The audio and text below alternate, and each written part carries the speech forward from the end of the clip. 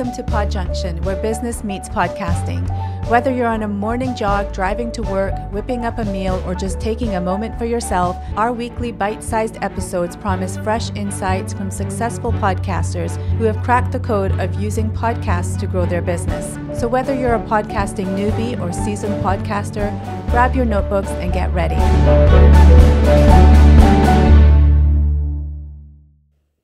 Wow, hello and welcome to another brand new episode of Pod Junction. My name is Matt Edmundson. Beside me is the debonair uh, Sadaf Beynon. Uh, how are we doing? We're good. Yeah? Yeah. I noticed actually just looking across the table, you've taken your bracelet off because when we were getting set up, I did notice it was jingle jangling a little bit. Yeah, yeah. That's exactly why. Okay, well, fair play to you. So, welcome to the show. It's great to have you here with us. We are a podcast which talks about podcasting. which I, just, I still think is quite funny. Uh, but yes, it's a podcast about podcasting where we talk about how, um, well, how to use podcasting to grow your business, basically, uh, is what we do. So, yeah, what have we got coming up today? So we've got um, Daniel Budai again. Again, the legendary, Yes. the legendary Daniel. And um, he is talking about how he uses a free audit that he offers to um, his podcast guests as a generation tool for his business. Ah, lead gen. Mm-hmm. So we get into lead gen with Dan Budai, who is uh, a legend. We, uh, Dan Budai was in the last episode, wasn't he? Yes, Yeah. Okay. To be fair, ladies and gentlemen, uh, whilst it may be a week between you listening to the episodes, depending on how you consume the content, it's been a few weeks since we recorded that one. Yes. So I'm just racking my, my memory. uh, yes, it was Dan. Yes, I remember what we talked about. Yes, good. Uh, so we've got Dan again this week. Um, Dan's such a legend. Uh, I really like what Dan's done, and he's really used podcasting to grow his business quite a lot. So you're definitely going to want to pay attention to this because he has definitely walked the walk, as they say. Hmm. So yeah, is there? You say there's a question you need to ask me before we get Yes, into I have a question. And I will take this with me when I move. um, okay, so what's the most unexpected feedback that you've ever received from a listener and how did, it, how did it impact you? So, not a guest, from a listener. listener. The most unexpected feedback. Um, that's a really good question. I'm glad I was prepped about this beforehand. There's a few instances which stick out in my mind, right? There was, um, uh, had one the other day, a friend of yours, a guy called Nick. Is it Nick, the art guy? Um, Do you know who I mean? The Yes. um, uh, I think it's Nick. Uh, the Nick it's- GP. No? No, I, I, his name will come back to me. I'm, that's really bad, isn't it? Um, anyway, The just to- posters guy. The Yeah. Christian. Yeah. Yeah. He's a GP he's a GP. as well. Oh, okay. Didn't even know that. So uh, anyway, Nick contacted me on Instagram and said, uh, "Really loved the show, the e-commerce podcast," and he went all the way back to episode one. Nice. I'm like, why? That always surprises me. And it's not him. It's not just him. There's Yeah. people that reach out to me on LinkedIn all the time going, Yeah, I really love the show. I'm going to start again from episode one and consume them all. I'm like, That is, I mean, that's hundreds of hours of content. Mm. And it's e commerce. It's not like, you know, four years ago, some of it still makes sense. Yeah. But, you know, it's like four years ago in, in digital terms is, is worse like Pre-COVID 1960s. and post-COVID. A lot of lot of changes, right? There's been a lot of changes. But the one which surprises me, surprised me the most was uh, at one point I was stopped in the street and someone recognized me. Nice. Tell us they, about that. They'd been watching the video. They're like, You're that guy on YouTube, aren't you? And I was like, And it turns out, yeah, they'd been watching the show. That's, so that is that EP again? Uh, yes, I think I can't remember. I think it was EP. It was one of the podcasts. It must have been EP because it was it was pre-push, um, and just recognize me. Hmm. Like, oh, you're the guy on the. I was like, what? the-" That's cool. But you know That's what? That's actually um, like often when you start a podcast, you can go for months before anyone Yeah. picks you up, right? So it's nice that someone goes back and actually watches those early ones.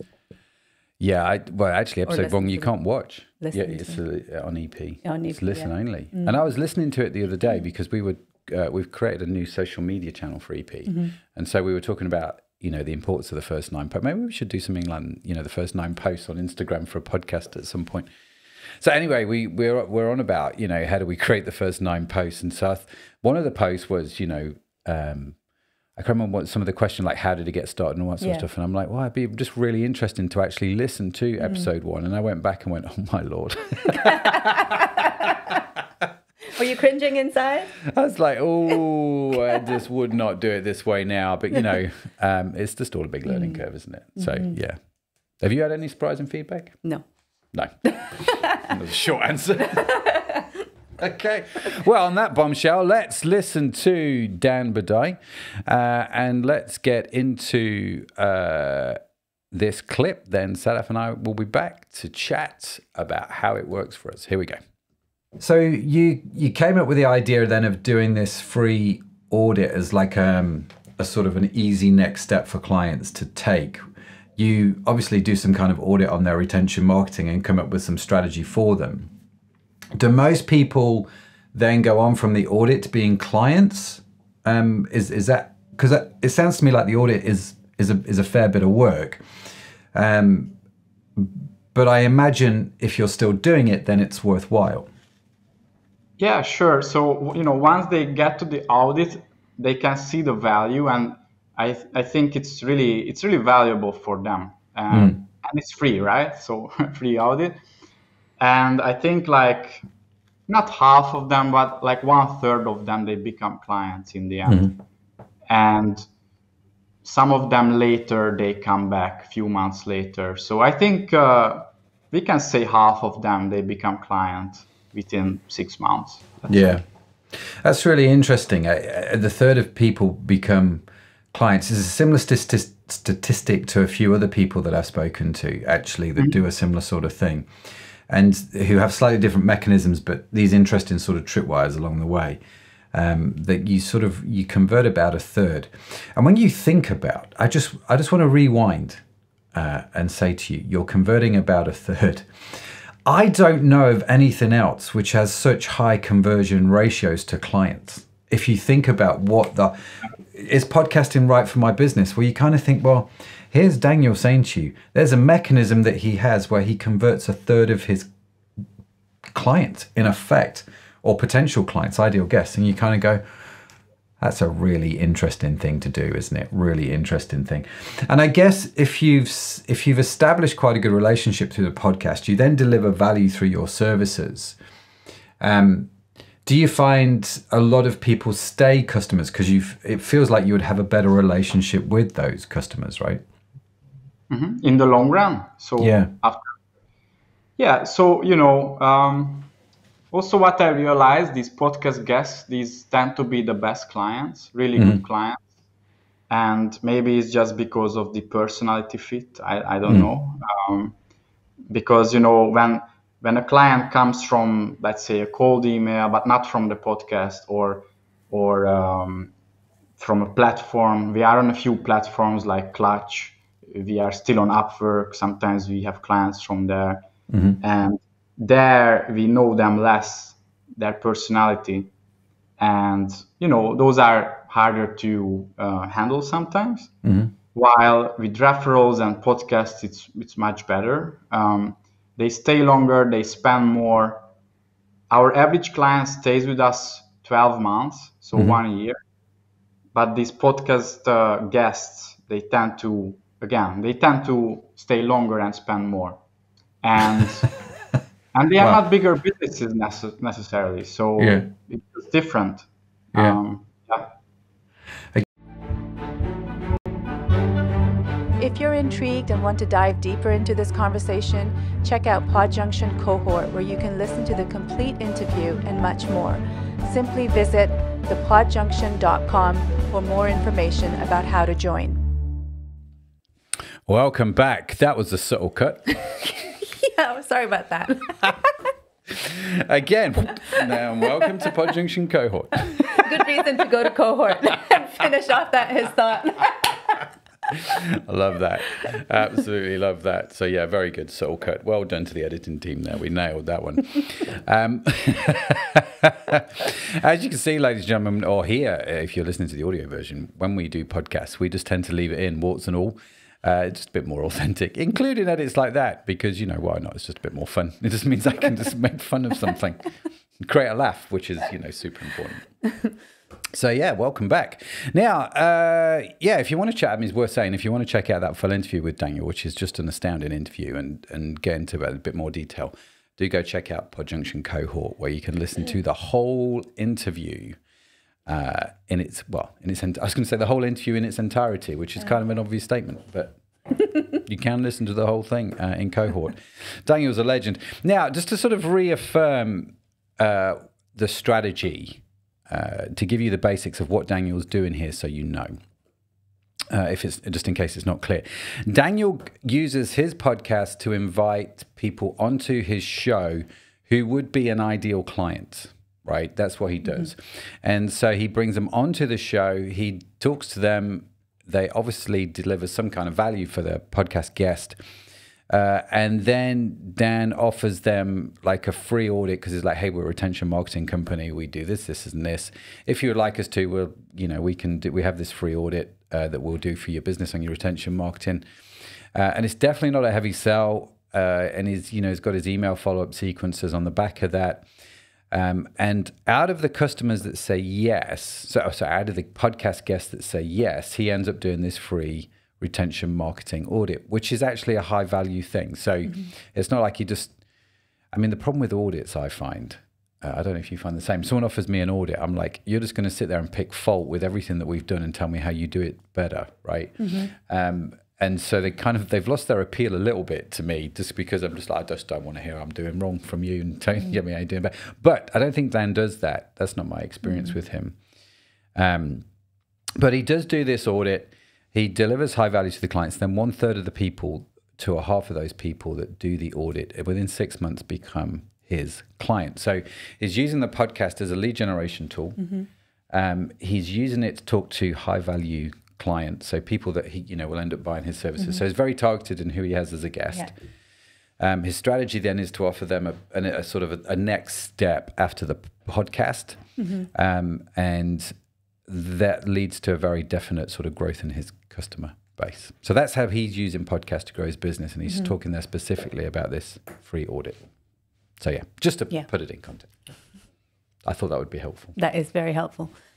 Thank you, Matt. Well, my pleasure. um, yeah. So, what did you take away? What did you think? Anything stick out? I think it's interesting, isn't it? Because the free audit as an idea. So, the, the concept of this free audit is, like I say, you've you've got this person on your show. You're, so you're using the show to interview people who would make great guests, uh, great clients. And what Dan has done, which I think is brilliant, um, and it does work very well, is he's then offered a very clear next step, mm-hmm. right? So that's the great thing about that audit. Now, I'm not saying an audit is something that you know every podcaster should do if you're using it to sort of you know talk to your ideal guest if you're using podcasts for that strategy but offering clients a very clear next step mm. in their journey with you that makes a lot of sense whether it's an audit whether it's a free ebook whether it's a free service, whether it's a reduced price service. Mm. I think you have to test it a, a little bit. Um, but I think it has to be a no brainer, as in, if you offer something, it has to be something that makes sense for the guest yeah. uh, and is very hard to say no to. Mm-hmm. Um, so yeah, I, I think the the strategy of offering something to guests like that is is really good. Yeah, um, I agree. I think um, it, it, it's a chance to showcase your expertise. Mm-hmm you're putting the money where your mouth mouth where your money is, money where your mouth is. I just pick either one; it'll be fine. Yeah. um, and um, also, it's an incentive, as you said, for for um, the client to engage with you. Yeah, it's an, I think you need to give them another easy yes. Mm. So, inviting someone onto your show who you don't know as a way to initially connect with them is an easy yes, mm-hmm. I think. For, yeah. Certainly, if you're talking to CEOs, business leaders, which Daniel is, because his whole company is about retention marketing. Mm-hmm. Um, so, especially for ecom businesses, using email to retain customers, that's what his yeah. whole company is all about. So, he's going to go and get on e-commerce business owners. That's what he's going to do. And then he's going to talk to them about how they do retention marketing and start to form that relationship. And he's giving them an easy yes. Mm-hmm. Does that make sense? Yeah. And I, I think it's it's good to have sort of two or three easy yeses for your lead uh, your potential clients to say yes to. I'm just re-listening to what I've just said in my head. It does make sense. Yes, there's a lot of yeses in that sentence. Um, so giving clients an easy yes and having a very deliberate journey, I think, is really important for podcast guests, right? So if you're selling, doesn't matter what you sell, like Dan's retention marketing, let's say you do, uh, I don't know, like an online course, right? So you could use your podcast. You go and get people who would, uh, as a guest on the show, you interview them, people who are like your course members Yeah. right? So it's very targeted. These would be the kind of people that would buy your course, and you kind of go, well, listen, come on to the show. You have a conversation with them. Maybe there's something you can give them in between the course. It's like uh, I can give you a free audit or a one-on-one coaching session, or I can um, chat to you about this, or we've got this thing over here which we can give you, which will onboard. Uh, whatever that is, I think it's a great thing to do. Now, in terms of when you offer this, then um, Dan does it in the same conversation. So you'll have the interview. He'll end the interview like 10 minutes before the hard deadline. Yeah. Um, so if you've scheduled an hour with the client to record or the guest to record, he'll end it, you know, 10 minutes to. And then he'll just spend two, three minutes, not a heavy sell at all, just telling you about the audit um, and whether or not you want to, you know, you want to take them up on that. So, yeah, I think, I think having an easy yes, just taking two or three minutes in a non-pressure environment. You've already as long. What I find is when we do this, because we do do it with push. You know, at, at Yeah. one of our strategies um, is with push. You know, there are like with Pod Junction guests, there are things that we could talk to them about. There, there's all kinds of things that we can bring in to sort of take them on that journey with us to give them the sort of the next easy yes. Yeah. Uh, and I think it's just important to do. So yeah, definitely do it. Pick your time. You know whether the end of the podcast is the right time, whether you need more uh, interaction before the next steps, and you- you've just got to test it. I think. Yeah. Yeah. So, um, in summary, it's a very effective tool for lead gen then. It's super effective. I think Yeah. podcasting is a very effective tool for networking uh, and for making new connections. I think the next step will give those people, uh, will move them from just being connections to Yeah. leads. Yeah. Right. So it is. I think that it is a good next step lead generation. What I find also is actually people come back to you. What they might say to you, "Oh no, it's okay. I don't. I don't need the audit now." Uh, but six months later, if you stayed in touch with them and maintained that relationship, they may come back to you and say, "You remember that free audit that you said? Yeah. Is it? Could we do that now?" Um, and so that can also happen. I think so. It it, it is a bit of a long game. It, I mean, the downside to it, I suppose, is it's one to one. In other words, your his approach is you go get a client or a potential client mm-hmm. on your podcast. You record the podcast, which is not. I mean, it's it's fairly straightforward, but let's, there's, there's effort involved, mm-hmm. right? And then I'm offering them a free audit. So I'm doing a lot of work up front to try and get the client. Yeah. Right. Yeah. Um, and it's very much all about Dan. So Dan has to do it. Dan has to interview the guest. Dan has to offer the free audit.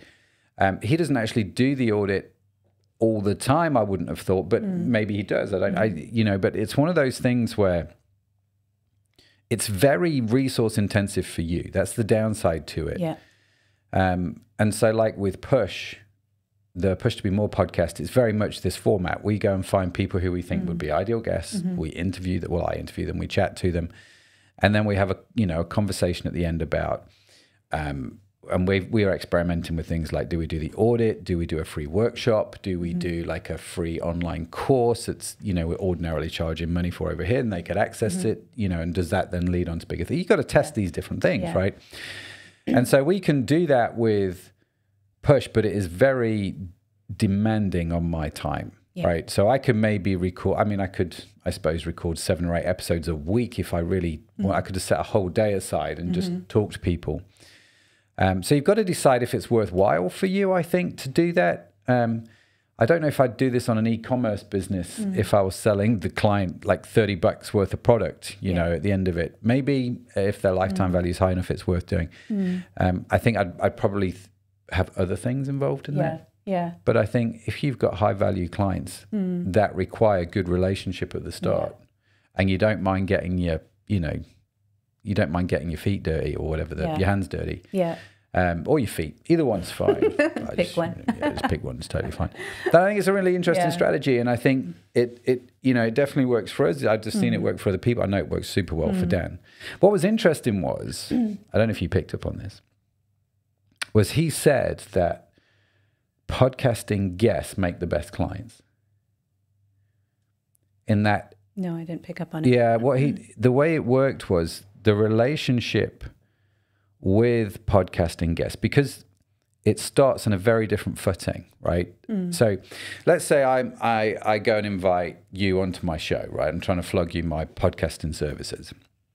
You come onto the show, we have a great conversation. It's a great way to start a relationship, right? You remember it, I remember it. It's just good fun. Um, we put the podcast out, you share it with your friends. It's something that you're proud of, right? And and all that sort of sort of stuff. Versus if you and then I say to you, listen, we do the retention marketing thing. Would you like a free audit? And you go, I happenstance, yeah, we, that'd be great actually. Um, and so you take that, and then you end up, you know, becoming a client. And what Dan said is, you uh, if you go that route, you stay longer and you spend more, right? Whereas if you just approach our agency and say, listen, uh, I need some help with retention marketing, and we go, sure, here's what we do. Um, even if I offer that same free audit, that client is less likely to stay as long or spend as much. And the reason is not because what the value of the service, the service is the same. It the reason is because what how it started, that relationship started. Yeah. Do you see what I mean? Yeah, I do. And so Yeah. that's incredibly powerful.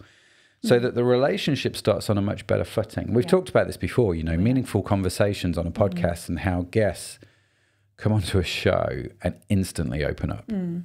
I mean, instantly. It's not even you don't even have to warm up. You know, on push we we start with a question, which I we start we ask guests on the I ask guests on the on the podcast. I've read their bio out. I've introduced them to the show and I read it out and I say, listen, if you could have your own podcasting, you could have anybody on the show as your mm. guest to interview, past or present, that's had a really big impact on your life, who would it be and why? Mm. Right? I mean, that's a that's a deep question to get straight into. Yeah. If I make, if you called me up and said, "Listen, you know, uh, I'm interested in your podcasting service," and I said, "Great, Sadaf, listen, let me ask you a mm. question before we get started," you're going to go, "Who is this lunatic on the phone? What is he Yeah. talking about?" Whereas on a podcast, because we're recording it, it just makes Different. total sense, right? It's a different environment, and you're like, "Yeah, let's do it." So, um, I remember, I think I mentioned this before, but I remember one uh, guest saying to me, Matt, I told you in the first 30 minutes that conversation stuff I've not told my closest friends. I mean, you talk about a great way to start a, a relationship with a potential uh, client, right? Yeah. So, Yeah. yeah. it's one of those where I think um, bringing it back to what Dan was talking about, the free audit, having a very clear next step for your guests if you're using this strategy makes an awful lot of sense. Now, can I do a shameless plug? Yeah, go for it. Well, I'm going to. it's just one of those. Shameless plug. If you want to know more about this strategy, uh, we have a course called the Podcast Connection Accelerator. Uh, and um, at the time of recording, it is almost done.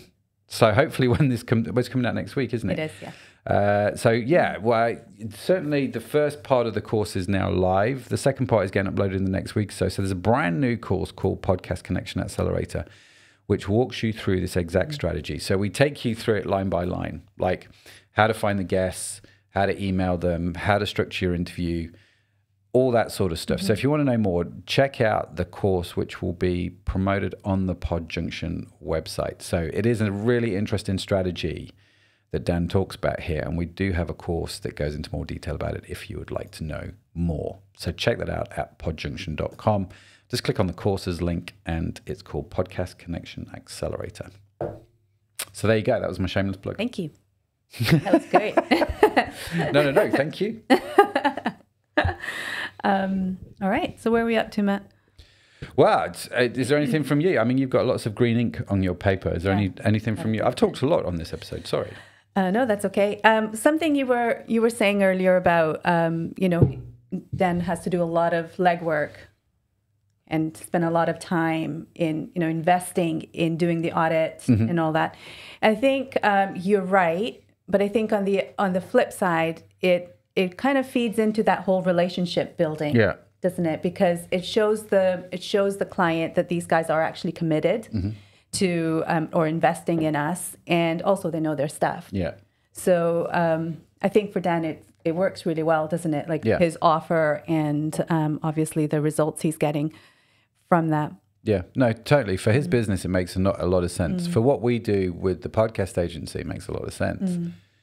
Um, that strategy, does it work for an e commerce business? It could do. Um, I think there's other things that you would bring into that. Um, I don't think it's the sole strategy. Um, but I think if you've got clients that are, we often say to people when talking about this particular strategy, for me, if you have a, a CLV or a customer lifetime value of at least $4,000, right? So if a customer's worth at least four grand to you, I think it's a really, really interesting strategy to look at.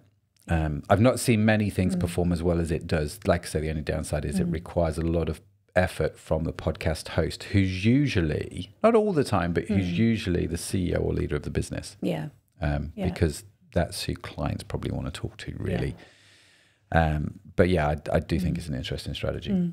The other thing um, I wanted to point out, and I think a lot of our guests who've been on the, sh- the show have said this as well, about um, targeting who your guests are going to be, like being heavily targeted with that. And I think it's the same with marketing. If you Yeah. have targeted marketing, you get better results. Yeah, If- you do. If you target your guests well, you know who your listeners are, Yeah. all of, you know, that whole mix. Um, the closer you get to getting that on point, Yeah, the better off you're going to be. be- yeah. Yeah. And I think your guests have to resonate with who your, like you say, who your target audience is. Mm-hmm. Um, and if you use Dan's strategy, your guests have to resonate with the clients that you have, or you, you, we call them your ideal clients, right? So maybe not clients that you have, but maybe clients that you want. Yeah. Um, so they have to resonate with those two audiences. So Mm-hmm. when, there's no point in us interviewing somebody who's not really had a podcast Yeah. on this show. It wouldn't make any sense for our audience. Mm-hmm. And it wouldn't make any sense for the stuff which we offer those guests that come onto our show. Yeah. Mm-hmm. Right? Because we have the courses, we have the mastermind and all that sort of stuff. And so it wouldn't make sense to do that. So we have to, we, I mean, you know, like you say, we Mm. have to be targeted. So you're right. The, the more targeted you can be, the more thought you put into it, I think you the better the Mm. outcome. Yeah, definitely. All right. Well, is there anything else? No, I've got all my notes covered now. That was close. wow. Who, do we know who's in next week's show? We do. Oh, when I say we, I'm, I'm looking at you. Richard Brooks. Richard Brooks, what a legend. Agents of Change. Oh, yes. So uh, we've got Rich Brooks coming up next week, but do check out Dan's uh, podcast. Check out his details. Everything's in the show notes and the show links. You can find out more about Dan. Reach out to him. I'm sure he'd love to hear from you. And as we say, if you'd like to listen to the full interview, and why would you not? The man is such a legend. Check out Pod Junction cohort because that's where it will be. It's super, super low cost to be a member. It's not even the cost of a cup of coffee these days. No. Uh, not that I buy coffee. Well, I, I I buy coffee for other people. yeah. uh, I, I, I no, it's, it's almost the price of a cup of tea. Biscuit Uh, tea. Biscuit. yeah, biscuit tea, uh, which is normally what I drink. But uh, that's another story. So, yeah, do check it out. Pod Junction Cohort. Everything's on the website, podjunction.com. Uh, but yeah, it's been great to chat to you this week. I enjoyed this one. Yeah, me too. All right. We'll see you next week.